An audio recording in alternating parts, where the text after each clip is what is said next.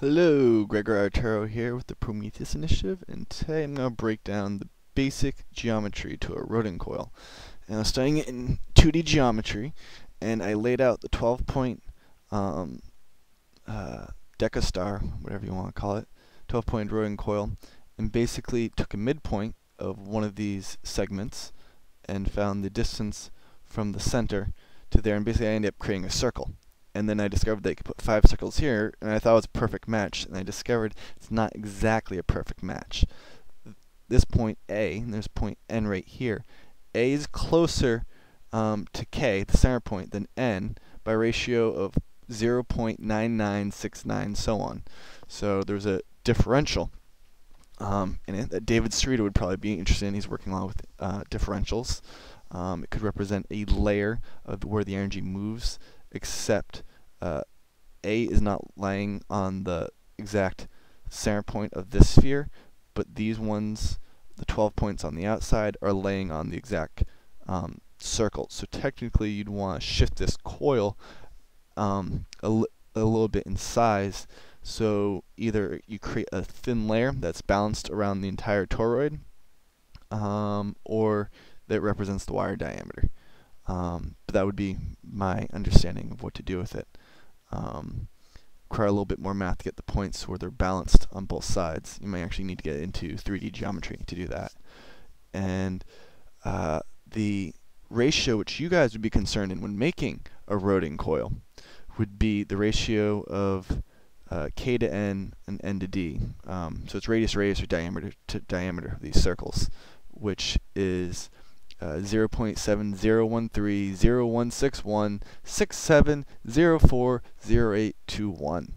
Um, and so this is the 0.7, um, or this part n to k, and this is 1, um, or 2, or like 1.4 for the diameters.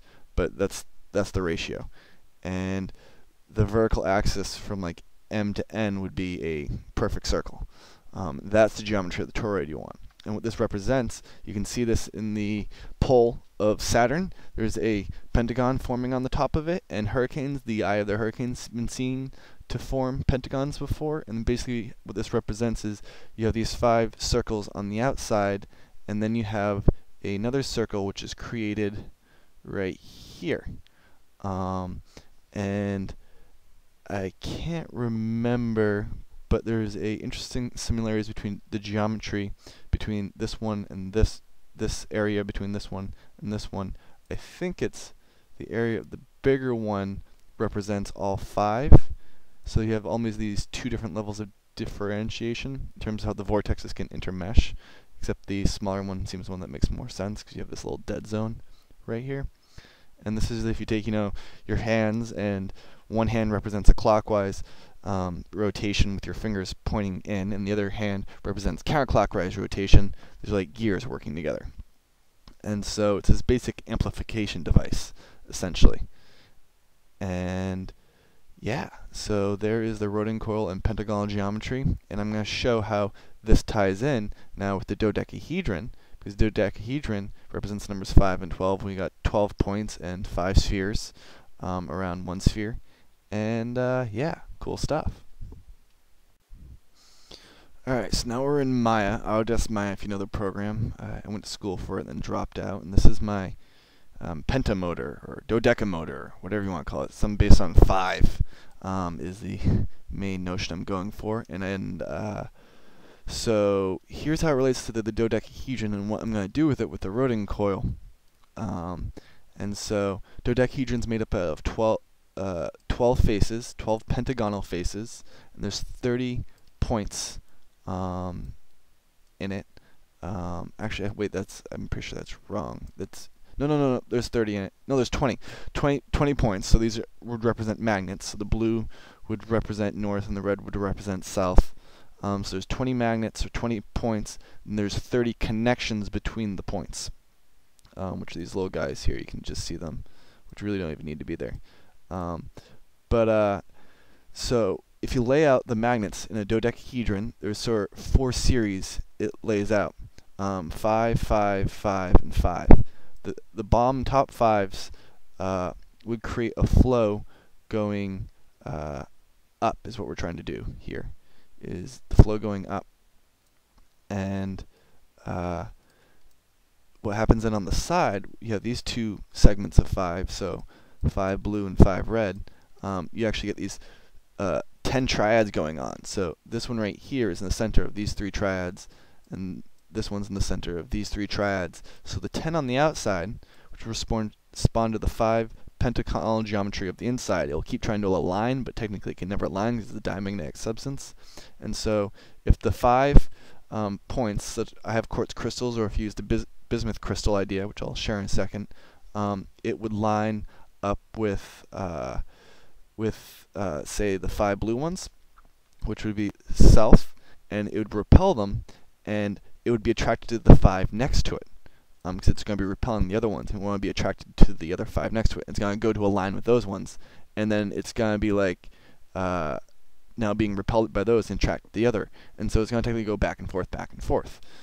Um, and these magnetic fields are being drastically amplified by the five on the top and the five bomb. They're more support magnets, while the ten on the side are really doing a lot of the work. And at the top, we have a cone, which is going to be made out of a diamagnetic substance with five uh, magnets around it, which would be then amplifying each other. Um, so this sort of look would look like a blue magnet technically here. And if you go in, we have um, some wire coiling around this cone, and then the the uh, Rodin coil, which is the traditional uh, two 12 uh, point pointed uh, circuits, and the third missing, which a lot of people are not using anymore and uh, I applied that to the cone up here. And uh, this cone has uh, 12 12 and or there's 24 um, spirals going into the center point where they all converge. And I did it in two different ways. So you can actually have it um, oh wrong one. Uh, there's that one alright and this would just be, there's 12 um, coils on this one, and just without doing the Rodin coil fashion. And uh, I'm going to put it back. So Control H. There we go. Um, and these work as capacitors. So if this one is negatively charged, you're going to pump electrons into it, and so it's going to create a magnetic field by the electrons pumping into it. But then as the charge builds, it's going to slow down the direct current, which I'm planning on using. And so it's going to be a constantly changing direct current, and uh, and to the point where it stops or it's fully charged, and then all of a sudden it releases all the energy into the positive terminal.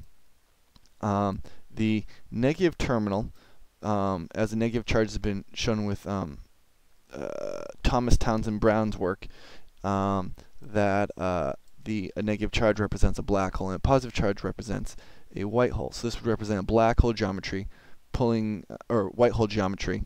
So electrically charged is a white hole, um, or negatively charged is a white hole. So it's going to be pushing energy down. This being positively charged on the top, it's going to be a white hole um, pulling, um, pushing energy out or black hole. Gets so confusing. It's going to be a black hole pulling energy in. It's going to white hole in the bomb pushing energy out. So you're going to get a vector going up. Um, and all the water in the center, the dielectric, which I'm going to be using, which is not pictured here, the water would um, be polarized and have a gravitational pull um, upward. And that'd be the main thing, having the gravitational pull. Uh, and the other thing that would happen is the uh, diamagnetic substance in the center of this cone um, would also be pulled up um, if you set it up right in terms of capacitance. But that's a whole other thing. I'm not going to go into that right now.